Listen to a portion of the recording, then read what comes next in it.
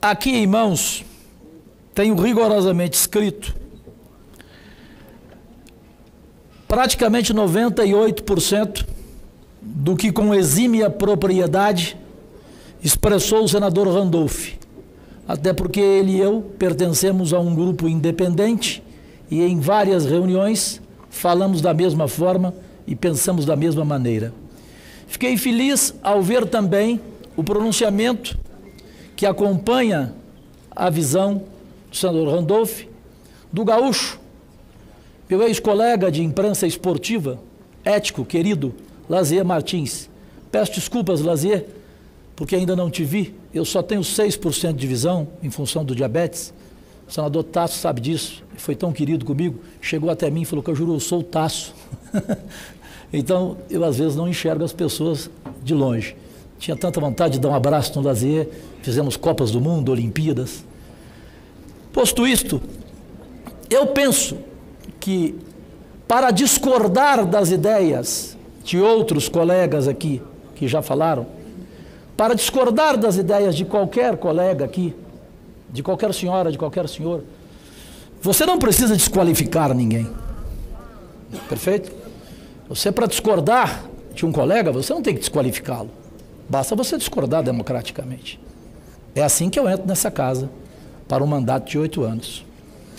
Registro que, em nome de mamãe, fiquei muito feliz, muito emocionado, porque, como jornalista, fiz tantas críticas a senadores históricos aqui desta casa, há tanto tempo aqui, e esses mesmos senadores hoje me cumprimentaram com máxima alegria, lembraram de fatos antigos. Senador Collor, antes de ser presidente, como presidente do CSA de Alagoas, lembramos da entrevista. Renan lembrou que eu dei com prazer nele jogando futebol em 1994 com Galvão Bueno e o Maguito Vilela, que eu dei nele uma caneta no meio do campo, Romário, gênio da área, que nem você dava, baixinho. dei uma caneta nele. Então eu fiquei tão feliz de encontrar essas pessoas e de ver que não há raiva. Porque me ensinou o jornalista Paulo Francis, eterno, que crítica não é raiva, crítica não é ódio, é apenas uma opinião sua. Ocorre que neste país a crítica é tão incomum que às vezes as pessoas interpretam como ódio, e não é ódio. Eu penso que o voto também serve nesta frase do Paulo Francis no seu livro Diário da Corte. O voto não é raiva. O voto não é ódio.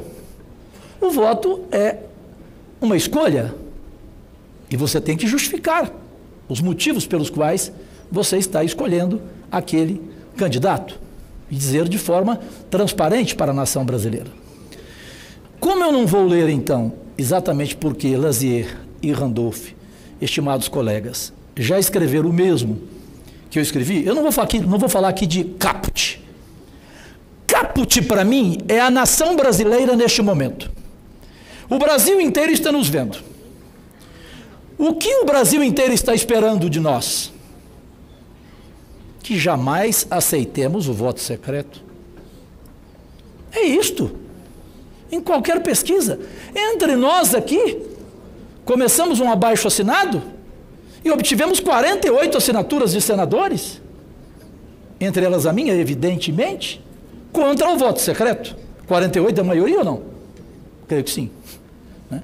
Então, aqui próprio mesmo, aqui dentro dessa casa, a maioria prefere o voto aberto, como a maioria da nação brasileira prefere. Eu vejo, humildemente, menos qualificado do que vocês no que tange a experiência parlamentar, da maioria dos senhores aqui, eu sou aqui um juvenil, mas em comunicação, modéstia à parte, eu não sou juvenil, e na oratória também, eu vejo que essa casa hoje mostrar ao Brasil inteiro que vai votar para a presidência do Senado de forma secreta é dar um tapa na cara de toda a sociedade brasileira. Um tapa na cara.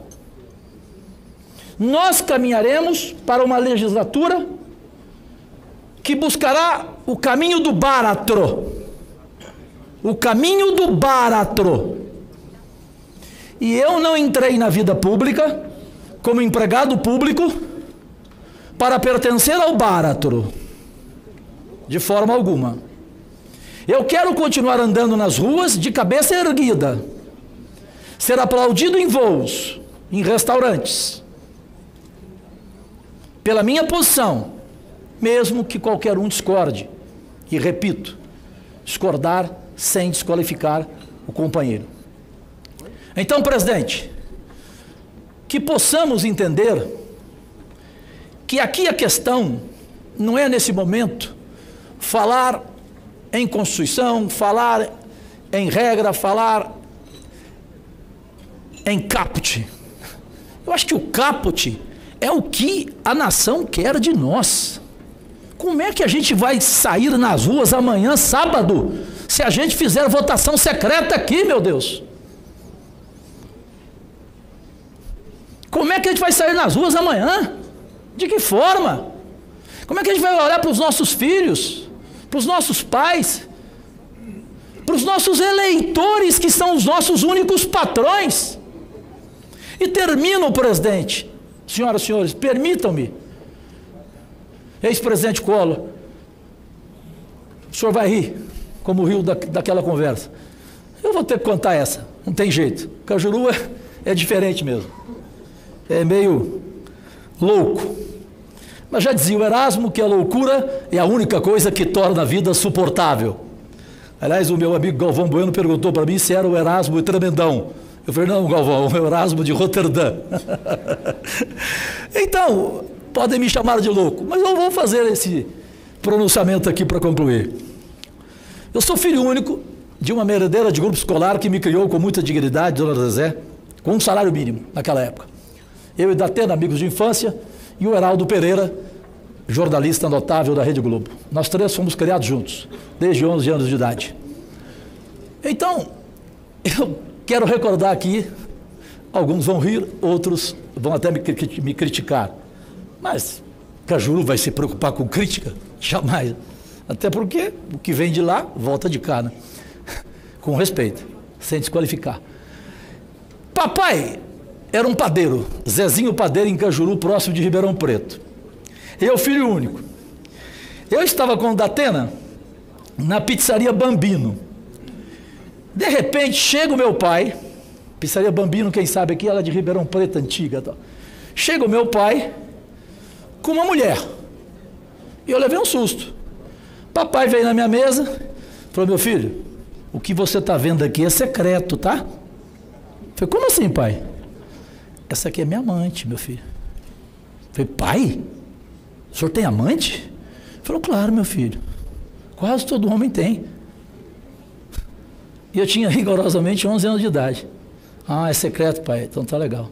Chegamos em casa à noite, a mamãe fazia a tradicional sopa de macarrão com legumes e com feijão. Nada melhor no mundo para mim. Nenhum prato supera. Começa o jantar. Papai, mamãe e eu, só nós três. Falei, mamãe, preciso contar uma coisa para a senhora. O quê? O papai falou para mim que é secreto, que eu não podia falar para a senhora. A senhora está tomando bola nas costas, mamãe. Papai tem um amante. Eu apanhei demais, né? Porque o meu pai me bateu foi uma loucura. Mas eu apanhei tão prazerosamente que eu contei para minha mãe aquilo que meu pai falou que era secreto. Desculpem, senhoras e senhores, eu não vou amanhã deixar de sair nas ruas de cabeça erguida eu não abro mão de que o voto seja aberto. Agradecidíssimo.